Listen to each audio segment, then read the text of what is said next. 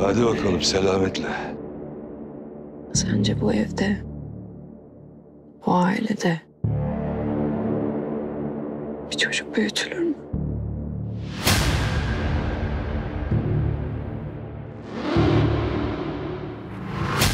Ben şu anda var ya...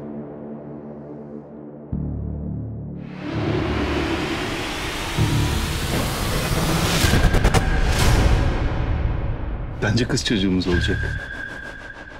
Bence kesin kız çocuğumuz olacak. Bak ben hisleri kuvvetli bir adam. Seni de bana atma. Tamam. Eyvallah belki dünyanın en iyi babası olmayacağız ama ulan dünyanın en kötü babası da olmayacağım. Sana söz veriyorum. Bundan sonra hayatımızda üç kişilik yeni adımlar atmak için bazı kararlar aldık.